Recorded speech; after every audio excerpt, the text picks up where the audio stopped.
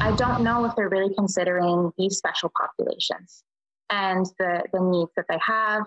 While most schools in the greater Montreal area are staying closed until the fall, special education schools like the McKay Center and Philip E. Layton have the green light to open on June 1st. But some teachers say they don't have enough time or guidance to prepare. These children are just especially vulnerable, and now they're being asked to come back to school just for like three weeks. The Quebec government backtracked on plans to open schools in the Montreal area on May 14th. Special education teacher Emma Bryans found out on Thursday this doesn't apply to schools for children with motor, speech, or sensory disabilities.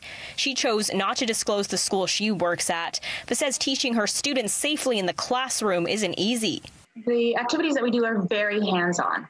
You can't picture a traditional class where the teacher is standing at the front of the class and um, lecturing on a topic or even handing out worksheets on a topic. For Brian, students, many who are nonverbal and have disabilities, sharing toys and doing activities close together are the norm. She's trying to adapt her curriculum to respect social distancing in the classroom, but says she hasn't gotten any help.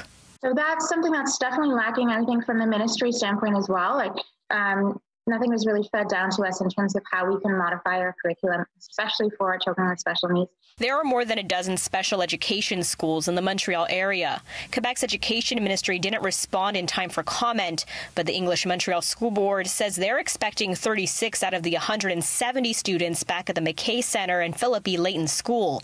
With only a few days to prepare, Brian says it's too soon. You know, opening for three weeks you know, while I understand that it's it's giving a relief to parents and um, it's giving the children, you know, some social social life that they have have been lacking, um, I think if we were able to focus on really preparing them for the long term, I think that would be much more beneficial for them. The Commission Scolaire de Montréal says the administration of its specialized schools will be contacting affected parents directly about next steps. In Montreal, Sharon Yonan-Renold, City News.